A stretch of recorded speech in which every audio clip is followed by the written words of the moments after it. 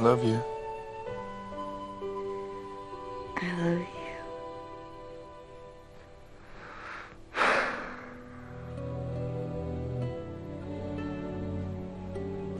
I don't. I don't know how to say this.